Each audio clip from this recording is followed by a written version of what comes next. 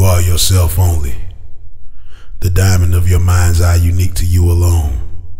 Each facet a different depth of your persona, emphasizing different features of your soul's face. Something material wealth can never really replace. No disgrace in a real hustler, hustling for real reasons. No simply erasing instilled customs from generational seasoning. The subject of discussion is the uplifting, not the upheaving. Of all people, we all equal the web I'm conceiving, not spun for deceiving. The sagas I voice not to make you believers, but to inspire new fire and desire receivers. No wires climb higher than all predecessors. Before us restore us through glorious thesis.